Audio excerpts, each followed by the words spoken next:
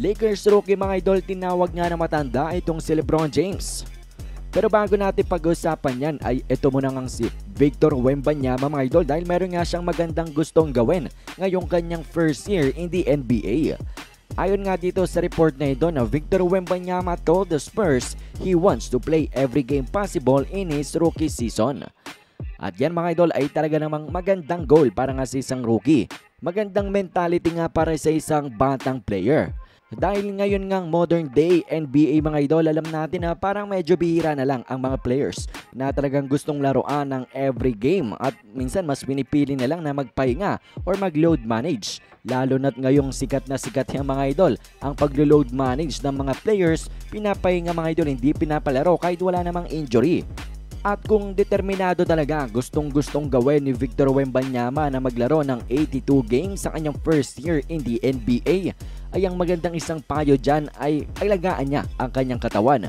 Gawin yung mga treatment, mag-ensayo, kumain ng tama para nga hindi bumigay ang kanyang katawan sa napakahabat napakahirap na 82 games in a season.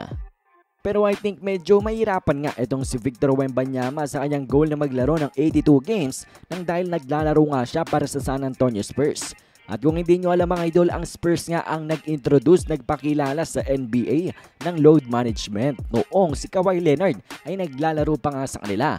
Dahil dati pa man ay problema na ni Kawhi ang kanyang health mga idol kaya't naisip ng San Antonio Spurs na ito ang magandang gawin para nga itong si Kawhi Leonard ay ready for the playoffs. Medyo ipapahipahinga nga nila itong si Kawhi mga idol sa regular season and then sa playoffs magiging ready at healthy nga siya.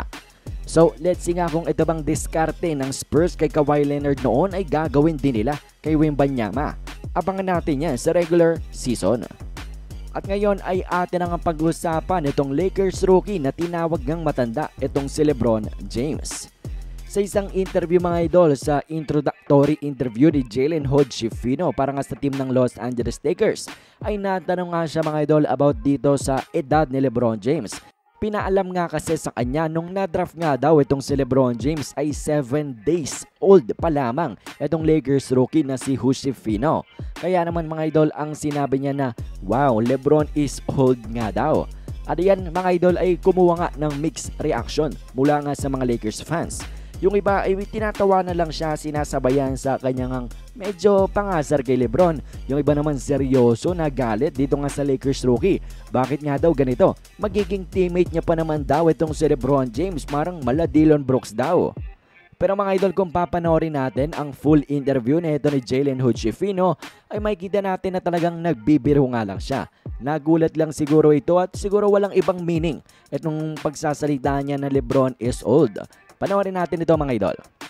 When LeBron James was drafted by Cleveland, there was a story that you were like seven days old. Uh, how do you put that into perspective? Yeah, I did see that post on ESPN, and I was like, LeBron old. nah, but um. So obviously naman na nagbibiro lang itong Lakers rookie mga idol at talagang pinersonal lang ng mga Lakers or mga Lebron fans siguro ang nag-react ng hindi maganda sa statement na ito ng Lakers rookie. Pero hindi na rin naman na siguro natin mapagkakaila mga idol na Lebron James talaga is old na.